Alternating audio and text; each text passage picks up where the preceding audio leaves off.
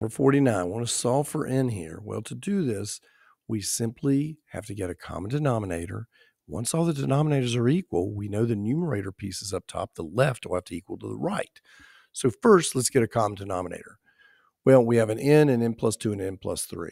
So I can see that this n plus 2 needs an n, which means the top's going to get an n. He also needs a what? An n plus 3 because he doesn't have that. So we're going to have an n plus 3 for him up there. Let's deal with this n. This n, he's going to get an n plus 2 and he's going to get an n plus 3 because we've got to have a common denominator. It's going to have to be all three of those guys multiplied. So this 2 gets an n plus 2 and an n plus 3. And finally, this n plus 3, he needs an n plus 2. So the 5 is going to get an n plus 2. And it also needs an n. So it's also going to get an n. At this point, your denominators are all the same. It's an n times an n plus 2 times an n plus 3. So we can just set the numerators equal to one another. Now, I'm just going to erase this, give myself more room. So up top, I have 2 times an n plus 2 times an n plus 3 plus 3n times an n plus 3 equaling a 5n times a uh, n plus 2. That's what we end up with. So let's see what happens. Well, the first thing I'm going to do is I'm going to go ahead and multiply these guys because binomial times binomial I can do pretty easily. n times n, I got n squared.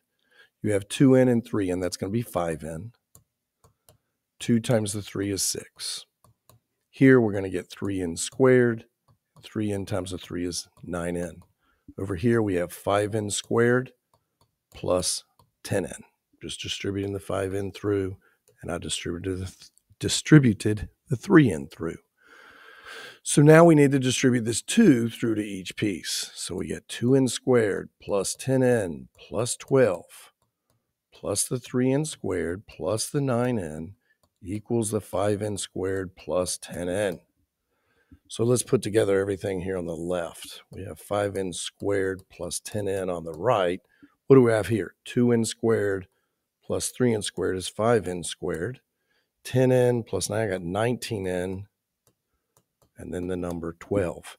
Well, if I subtract 5n from both sides, what happens? They go away. That's convenient, isn't it? And now, if you want, just move your 19n over, subtract 19n from both sides.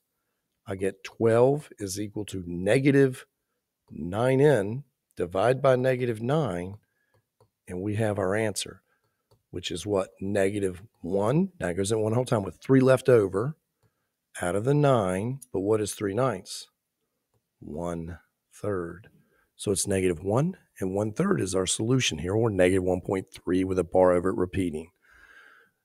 Not difficult. It just takes, you got to make sure you don't make any little mistakes.